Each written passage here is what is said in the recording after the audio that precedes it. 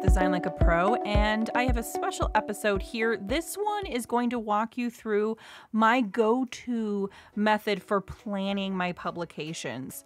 I use a custom storyboard template for this, and I will share with you at the end of this lesson how to access that. But there's many, many ways that that storyboard template can be used, and I'm going to show you my favorite way to use this and I have been using this so much lately and my trick is to use this on an iPad. So I have an iPad Pro that I use the storyboard on. I bring it in and then I use an app specific to taking notes that allows me to hand write directly into the PDF document. And then I can share that back out to myself super easily. Now, you can definitely print this off and you can use InDesign to create the storyboard as well. But the reason that I like this is this is a very versatile on the go method. And so I can take my iPad with me, go to a client meeting, jot these notes down, and then come back and know exactly what I'm going to be doing for the publication. So it's a real time saver. And that's why I've definitely moved my workflow from print and paper to digital planning in this particular case. So I'm going to show you everything that I use to make that happen. And then hopefully this is going to in make you a lot more efficient in your workflow when you're planning out any multi-page document. So here we are. We're going to start on our on the iPad and I'm going to show you how I bring the storyboard in to my iPad. So when you download the storyboard, you have access to a PDF and an InDesign file. So we're going to be focusing on the pre-made PDF template and this also allows you to open up InDesign, format the storyboard how you like and then create the PDF as well, but you can definitely just out of the box use a PDF. So this is what I do. I scoured for an app, an, a really good note app. And so what I ended up using was this, this GoodNotes 4 app. And it is hands down my most favorite note taking app because of the ability to write directly on PDFs and it has been a huge lifesaver for that and it syncs with all of the cloud apps to easily bring all of that in and so out of all the ones that I tried this one was my go-to GoodNotes for and I think there pro- I think there is a cost to it guys but I I do not believe it to be more than five bucks. I think it's a fairly inexpensive app if it is a paid app, but it's totally worth it for this feature alone. So let's go ahead and go right into GoodNotes. I'm starting here with a blank screen of under a category and to show you just how easy it is to bring in the PDF. So we go up to the plus sign and you can create notebooks in GoodNotes, which is really cool. And you can pick what style of paper you like. Uh, so this is if you're just using it for the note app, but we want to import our storyboard. So we're going to go to import and you can see here all of the really cool things that it syncs with iCloud, iTunes, your photos, the camera if you want to take a picture of something. Dropbox is what I use, uh, Box, Google Drive, and OneDrive. So all of the primary cloud apps are included. And uh, you can also use the Adobe Creative Cloud libraries and you can save that to your iPad and then bring it in through your photos that way. But it is easier to use something like Dropbox. So I'm going to go ahead and click Dropbox and I have a quick grab folder that comes in super handy for things like this. And I have a landscape and vertical format. I'm going to open up the vertical format. It's the one I use the most. It's great for vertical publications, booklets, things like that, magazines, definitely. And so you can see that now I've brought that in. And when I click on it, it gives me exactly what this blank storyboard is. And it's ready for me to start taking notes. And again, the beauty of this note app is that we can click the fountain pen and we can choose different colors, we can choose different lines, and then there's a highlighter function, which I'm going to show you how I actually use this to show me what content is pending and what content I currently have. And then there's a lasso tool up here that's going to allow us to select and move things around. So I'm going to show you just the basic features of the app, but this is definitely more about using the storyboard in your workflows for planning out content.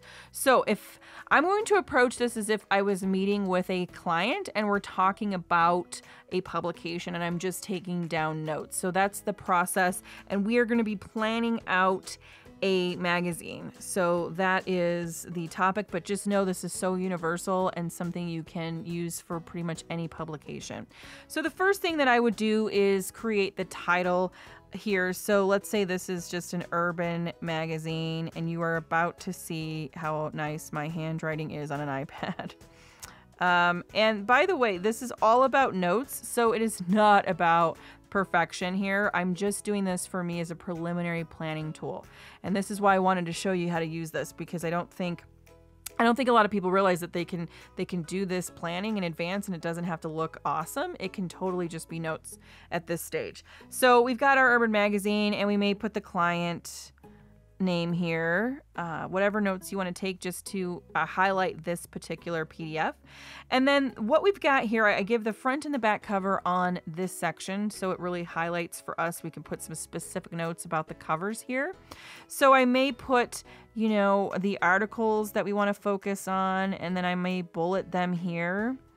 And I may also want to highlight the image that we're going to use, focus model, say we want a person on the cover, the back cover can be an ad or it can be a sponsor of some kind. So again, just notes for what I want to put where. And I'm just using the Apple Pencil on the iPad Pro to do this. So now we move on the inside of our storyboard. And again, we're talking to the client about what we want. And immediately I'm going to start placing ads because it's really important as you're moving through here, if you're working in a magazine where there's ads involved, that you want to be able to include that in your planning. And then at the end of this, I usually give my client a rundown of the ads that we need. So we're going to have an ad here. I'm to split this in half. This section is going to be that typical edit uh, credit, whatever you want to call that there. That's where all the names are for the editors, the staff behind the publication, all of that fine print credit. And then we're going to put a table of contents here. So this first section you're seeing one way to do this is just to literally jot down what the content is directly on the page.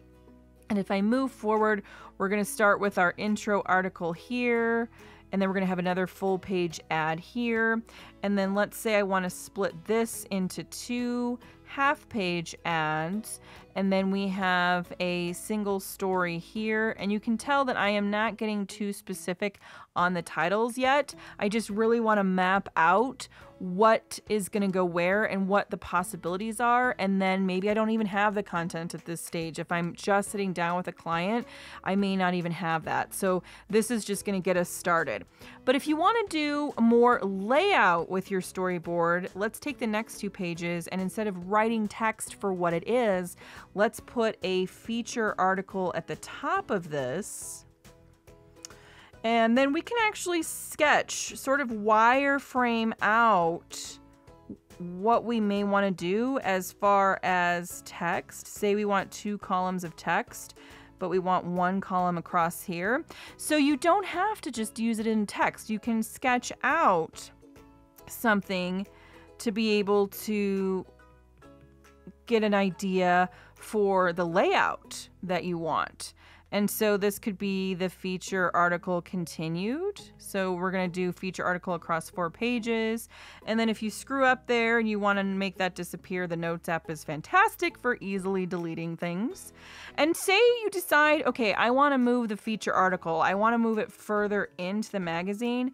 All I have to do is using that lasso tool, I can shift this now down to maybe these pages here okay? And then if it doesn't fit just so, you can come in a little closer and then you can grab things individually if you want to.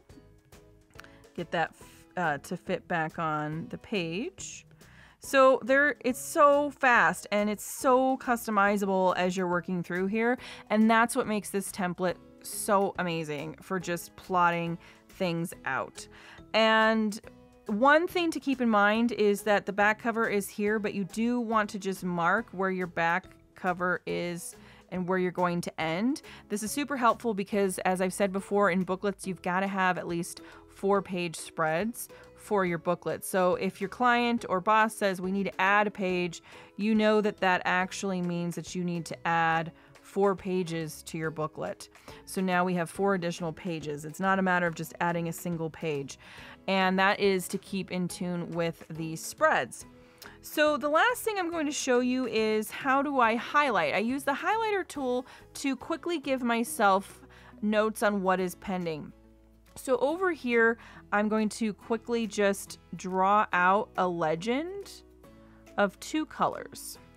And then I'm going to come in here and say that this is pending. And this is um, have. Okay, so this is content. This is how I know what content I'm still waiting on and one what I actually have. So we can utilize that by just, oops, we can highlight what we may actually have in our document. And then we can use the pink color to mark just roughly. And again, this is so meant to be fast, guys. Nothing high fidelity here. And we need all of the text content for our feature article. And we only have two of the three photos. So this helps me know what I have and what I don't have. And this also allows me to send this to the client and let them know what I what you have and what you don't have. So this is up to you whether you share this with the client or not. You can totally just use this as your own tool for mapping out publications. But the final step is okay, I've done this on the iPad, now what? I can definitely take this to my desk and look at it on the iPad. But if you want to send this back to yourself, all you have to do is come over here and you click export, and you can export a single page or you can export all of them. And you have a choice for what your format is, but you definitely want to probably keep that in the PDF format and then you can export it. And the beautiful thing is you can export it right back to Dropbox or whatever cloud app you use. So I might stick this back in the quick grab, click upload, and then it shoots it over to Dropbox for me and now it's in Dropbox. So now I can say I can go to my desktop computer, my laptop, whatever I'm going to use to design, pull that down, print it, keep it up on the screen, whatever I want to do with it, it's ready to roll. So this shows you guys a quick way and a very effective way to utilize that storyboard tool. So I have the link for you below to pick that up, and once you purchase it, you will have access to the PDF and the InDesign document to get rolling on this. If you have any questions about how to utilize this or any of the apps that I mentioned, by the way, they are just apps that I use. It is it's not something that I am paid in any way to talk about, but it is just my workflow that I've made work for publication design. So if you have any questions about this process, please leave them in the comments below and I will answer them for you. I thank you so much for watching and I'll see you in the next episode.